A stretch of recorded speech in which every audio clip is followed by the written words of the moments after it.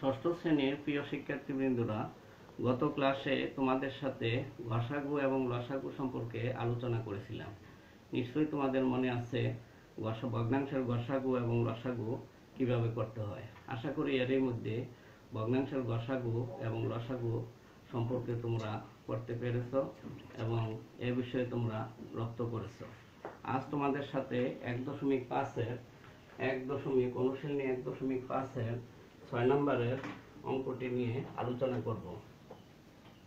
প্রশ্নের অঙ্কটি নিয়ে আলোচনা করব। এখানে দেখো, জামাল সাহেব তার বাবার সম্পত্তির আঠারো ভাগের সাত অংশের মালিক। তিনি তার সম্পত্তির ছয় ভাগের পাঁচ অংশ তিন সন্তানকে সমান ভাগ করে দিলেন। প্রত্যেক সন্তানের সম্পত্তির অংশ বের করো। তাহলে আমরা লিখতে পারি, জামাল সাহেব তার বাবা থেকে জামাল জামাল সাহেব জামাল সাহেব তার বাবা থেকে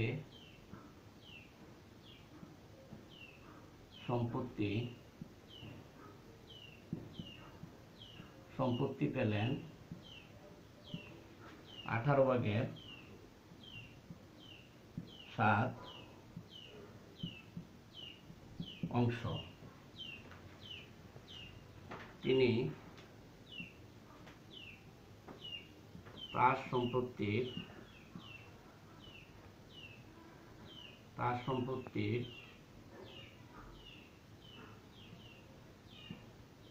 সম্পত্তির তিনি তার সম্পত্তির সম্পত্তির মোট দিলেন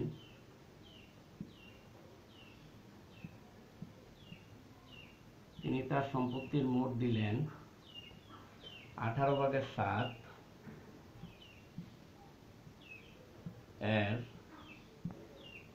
ছয় ভাগের পাঁচ অংশ। তাহলে পাঁচ সাতা পঁয়ত্রিশ, ছয় আট আটচল্লিশের আট, ছয় একে ছয় ছয় সাইট দশ। একশো আট ভাগের পঁয়ত্রিশ অংশ। তিনি তার সম্পত্তির মোট দিলেন এক আঠারো ভাগের সাত এর ছয় ভাগের পাঁচ অংশ, অর্থাৎ পাঁচ সাতা পঁয়ত্রিশ, ছয় আট আটচল্লিশের আট, ছয় একে ছয় ছয় ষাট দশ, একশো আট ভাগের পঁয়ত্রিশ অংশ। সুতরাং প্রত্যেক সন্তানকে প্রত্যেক সন্তানকে প্রত্যেক সন্তানকে দিলেন একশো আট ভাগের পঁয়ত্রিশ ভাগ তিন। ব্র্যাকেটের বাইরে অংশ। অর্থাৎ একশো আট ভাগের পঁয়ত্রিশ গুণন তিন ভাগের এক অংশ। তিন আটা চব্বিশের, চব্বিশ, তিন একে তিন, পঁয়ত্রিশ একে পঁয়ত্রিশ, অর্থাৎ তিনশো চব্বিশ ভাগের পঁয়ত্রিশ অংশ। তাহলে আমরা উত্তর লিখতে পারি তিনশো চব্বিশ ভাগের পঁয়ত্রিশ অংশ প্রত্যেক সন্তান পেলেন। তোমরা আবার অঙ্কটি দেখো। জামাল সাহেব জামাল সাহেব তার বাবা থেকে সম্পত্তি পেলেন আঠারো ভাগের সাত অংশ। তিনি তার সম্পত্তির মোট দিলেন আঠারো ভাগের সাতের ছয় ভাগের পাঁচ অংশ। অর্থাৎ পাঁচ সাতা পঁয়ত্রিশ, ছয় আট আটচল্লিশের আট, ছয় একে ছয়, আট চারে দশ, অর্থাৎ একশো আট ভাগের পঁয়ত্রিশ অংশ। সুতরাং প্রত্যেক সন্তানকে দিলেন একশো আট ভাগের পঁয়ত্রিশ ভাগ তিন। অর্থাৎ তার সন্তান তিনজন, যেহেতু তার সন্তান তিনজন, তিন দিয়ে ভাগ হয়েছে, একশো আট ভাগের পঁয়ত্রিশ গুণন তিন ভাগের এক, তিন আটা চব্বিশ, তিন একে তিন, পঁয়ত্রিশ একে পঁয়ত্রিশ। সুতরাং তিনশো চব্বিশ ভাগের পঁয়ত্রিশ অংশ। এখন তোমাদের একটি বাড়ির কাজ, সৃজনশীল একটি বাড়ির কাজ দিচ্ছি। সৃজনশীল অংশ। দেখো।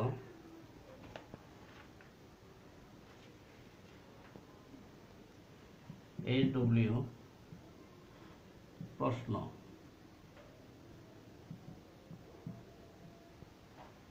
একটি পানি ভর্তি বালতির ওজন। একটি পানি ভর্তি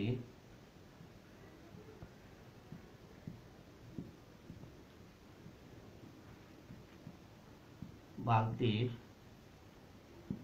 ওজন ষোলো সমস্ত দুই ভাগের এক কেজি। বালতির চার ভাগের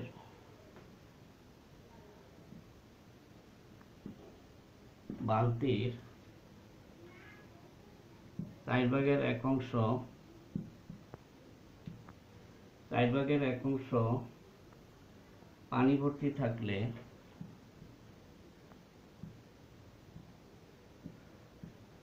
ভর্তি থাকলে পানি ভর্তি থাকলে তার ওজন থাকলে তার ওজন পাঁচ সমস্ত চার ভাগের এক কেজি হয়। এটাকে যদি আমরা সৃজনশীল আকারে এটা থেকে প্রশ্ন লিখি, তাহলে আমরা লিখতে পারি। লিখি, দেখি। এটা উদ্দীপক, উদ্দীপকটাকে আমরা সৃজনশীল আকারে যদি প্রকাশ করি, ষোলো সমস্ত দুই ভাগের এককে, দুই ভাগের এককে দশমিক ভগ্নাংশে প্রকাশ করো।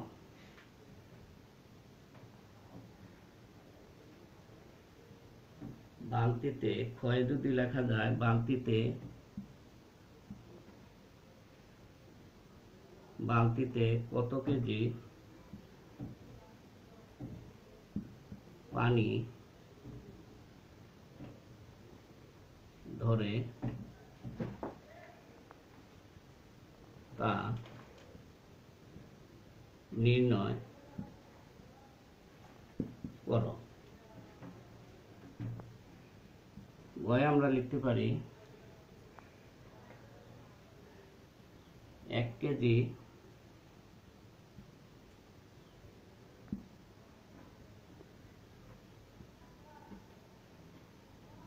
সিলভারের তৈরি বালতির দাম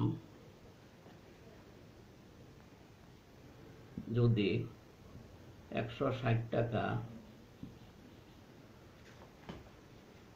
হয় তাহলে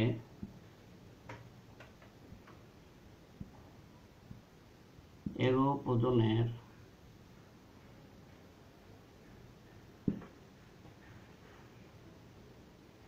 একটি এরূপ ওজনের একটি বালতি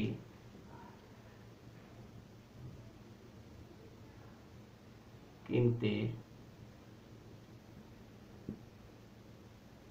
কত টাকা?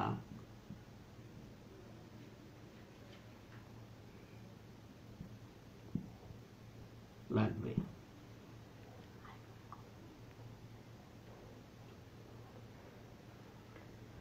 আবার প্রশ্নটি দেখো। একটি পানি ভর্তি বালতির ওজন ষোলো সমস্ত দুই ভাগের এক কেজি। বালতির চার ভাগের এক অংশ পানি ভর্তি থাকলে তার ওজন পাঁচ সমস্ত চার ভাগের এক কেজি হয়। তাহলে আমরা লিখতে পারি ষোলো সমস্ত দুই ভাগের এককে দশমিক ভগ্নাংশে প্রকাশ করো।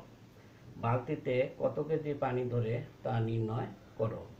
এক কেজি সিলভারের তৈরি বালতির দাম যদি একশো ষাট টাকা হয় তাহলে এরো ওজনের একটি বালতি কিনতে কত টাকা লাগবে?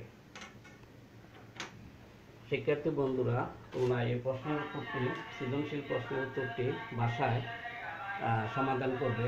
এই বলে তোমাদের সাথে আজকে শেষ করছি। ধন্যবাদ সবাইকে।